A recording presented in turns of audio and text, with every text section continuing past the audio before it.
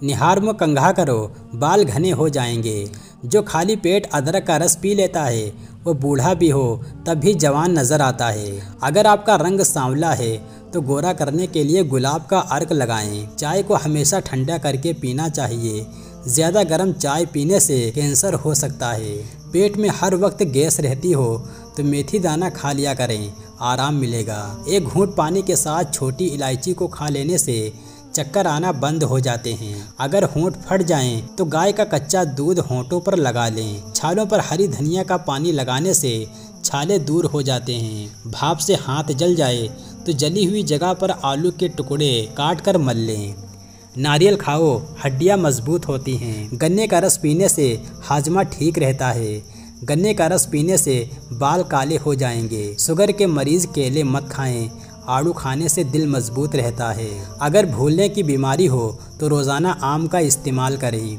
पेशाब करते वक्त जलन महसूस होती हो तो रोज़ाना कच्ची लस्सी पी लिया करें। रोटी दूध में डिबो कर खा लेने से बीमारियाँ दूर होती हैं। पाँव के बल बैठकर खाना खाने से बाल कमज़ोर हो जाते हैं। सुबह के वक्त नाश्ता वक्त पर ना करने से भूख की बीमारी लग जाती है। कि आपको मालूम है, सुस्ती इस तरह लोगों को हलाक करती है, जैसे सिगरेट पीना? मसूड़ों के दर्द में उबले अंडे की जर्दी। मसूड़े पर लगा देने से मसूड़े का दर्द ठीक हो जाता है। कोई पौधा मुरझाने लगे तो दही की लस्सी उसकी जड़ों में डालने से दोबारा उग जाएगा। ज़्यादा नमकीन खाने से बुढ़ापा देर से आएगा। आलू बुखारे का जूस पियो, चेहरा चमक जाएगा। जीरे को भून कर खाने से मुँह की बदबू दूर हो जाती है। मुँह की बदबू की बड़ी वजह कब्ज़ है। पानी के साथ लौंग खाने से इन ज़िंदगी भर दमे की बीमारी नहीं होगी। कलौजी दही में मिलाकर चेहरे पर लगाने से चेहरे की झुर्रियाँ ख़त्म हो जाती हैं। ऊँटनी का दूध भूख की कमी को दूर करता है। गला ख़राब हो जाए तो गले के ऊपर मुलेठी का मसाज करो, इससे गला ठीक हो जाता है। चेहरे पर कील मुहासे निकल आएँ तो कील मुहासों पर शहद लगाकर मसाज करने से कील मुहासे ख़त्म हो जाते हैं।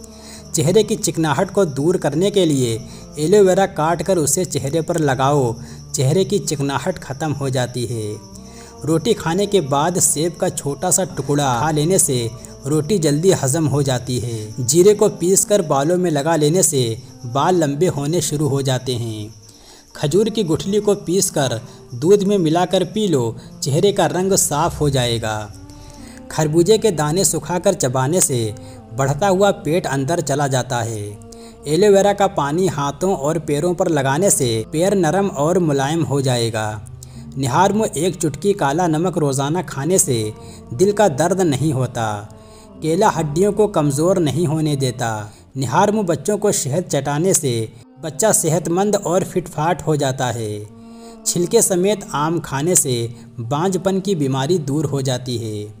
जिनको सांस फूलने की दिक्कत हो, वो आड़ू खाया करे इन आराम मिलेगा। कड़वे बादाम कभी मत खाओ, इससे आँखों की बीमारी होने का खदशा है। ज़्यादा पानी पीने से अकल में इजाफ़ा होता है और गुस्से को ठंडा करता है और मुँह की कड़वाहट ख़त्म करता है। सफ़ेद जीरा कैंसर से बचाता है और दिल के लिए भी काफ़ी ज़्यादा फ़ायदेमंद चीज़ है। खारिश वाली जगह पर अंडे की सफ़ेदी के अंदर फिटकरी मिलाकर लगाओ, खारिश ख़त्म हो जाएगी। दूध पिलाने वाली औरतों को लोबिया खिलाया जाए तो उनका दूध बढ़ जाता है। गर्म दूध के बाद पानी पीने से खांसी की बीमारी लग जाती है। अगर आप अपने बालों को काले और लंबे रखना चाहते हैं तो बकरी के दूध में सरसों का तेल मिलाकर बालों में लगाओ। निहार में रोज़ाना नींबू और अदरक का पानी पीने से बढ़ता हुआ पेट कम होने लगता है। अरबी लोग नाफ के अंदर तेल क्यों लगाते हैं? क्योंकि नाफ में तेल लगाने से चेहरे का हुस्न जमाल बढ़ता है। आम खाने के बाद ऊपर से पानी पीना ऐसा है जैसे जहर खाना। लिहाजा आम खाने के बाद पानी नहीं पीना चाहिए। बदहज़मी हो जाए तो दूध ना पियो। ज़्यादा मिर्ची इस्तेमाल करना इंसान की उम्र में कमी लाता है। जिन लोगों को बवासीर की दिक्कत हो, वो मिर्ची बिल्कुल इस्तेमाल ना करें। ठंडी रोटी खाओ, ये जिगर मज़बूत करती है, गर्म रोटी मैदे को ख़राब करती है। जिन लोगों को गुर्दे की दिक्कत हो, वो कभी भी केला ना खाए। निहार में दही इस्तेमाल करने से पेट की गैस और तेज़ाब दूर हो जाती है। पानी हमेशा बैठकर और तीन सांसों में पियो, इससे आप कमर दर्द से महफूज रह सकते हैं। ज़्यादा सोना याददाश्त को कमज़ोर कर देता है। निहार में केले का शेक पीने से घुटनों का दर्द ख़त्म हो जाता है। पानी कम पीने से होंठ रूखे हो जाते हैं। जिनका हाजमा ठीक ना रहता हो, उनको रोज़ाना गन्ने का रस पीना चाहिए। इसबगोल का छिलका दूध में शामिल करके पीने से दिल को ताकत मिलती है। उबले हुए पानी को ठंडा करके दवा खाने से दवा जल्दी असर करती है। ज़्यादा सब्ज़ी का सालन खाने से जिसम में खूबसूरती बढ़ जाती है।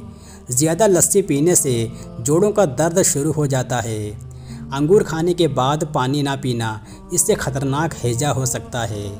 पेट की गैस हो या कब्ज़ हो तो रोज़ाना निहार मुँह नींबू का पानी पीने से पेट का भारीपन दूर हो जाता है।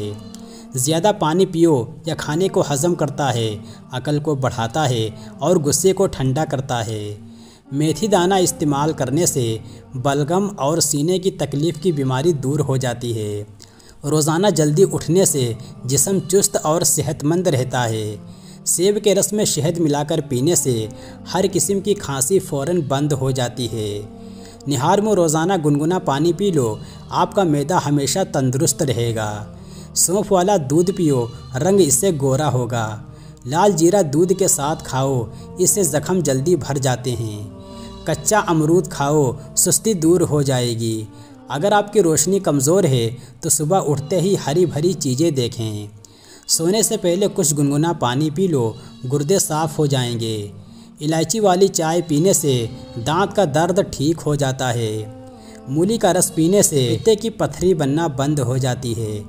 हल्दी भून कर उसके ऊपर शहद लगाकर चाटने से ज़ुकाम ख़त्म हो जाता है। गर्म पानी से नहाओगे तो बाल कमज़ोर होंगे। जो रोज़ाना सुबह के वक्त एक टमाटर खाता है, उसके बाल कभी सफ़ेद नहीं होते। पानी में हरी इलायची उबाल कर पीने से बुखार उतर जाता है। अचानक पेट का दर्द शुरू हो जाए, पानी में काला नमक डालकर पी लिया करो। पेट के दर्द में फ़ौर आराम आ जाता है। गरम गरम चाय पीने से दांतों पर निशान पड़ जाते हैं। लिहाजा चाय थोड़ी ठंडी करके पियो। रोटी खाने से पहले इलायची चबा लिया करो। इससे रोटी जल्दी हज़म होती है।